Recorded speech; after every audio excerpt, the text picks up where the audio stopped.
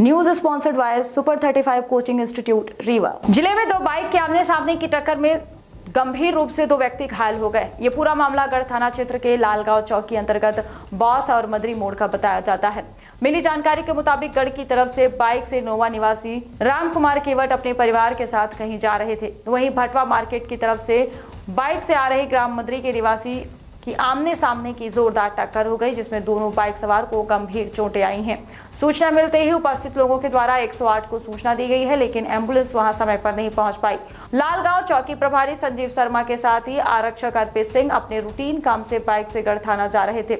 वहीं एक्सीडेंट में लोगों को देखकर रुके और हालात को देखते हुए तत्काल डायल हंड्रेड को बुलाया और अपनी वर्दी का फ़र्ज़ अदा करते हुए गंगेव के हॉस्पिटल ले गए हैं जिससे घायल लोगों को तत्काल इलाज दिया जा रहा है। एक बार फिर पुलिस की कर्तव्य परायणता देखने को मिली है। आपको बता दें कि इस तिराहे पर ब्रेकर न होने से आए दिन दुर्घटनाएँ होती रहती हैं। गाड़ी है जब गाड़ी आई तब गई है चलो। खड़े हो जाओ।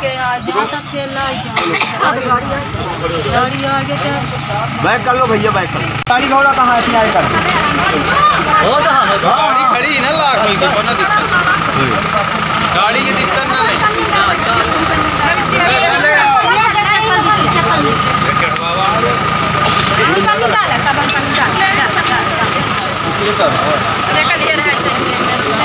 काम करिए आप उधर से जाइए ना बैठिए।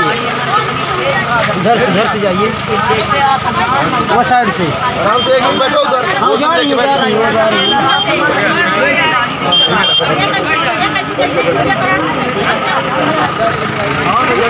एक और ना।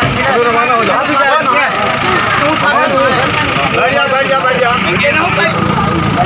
बाइक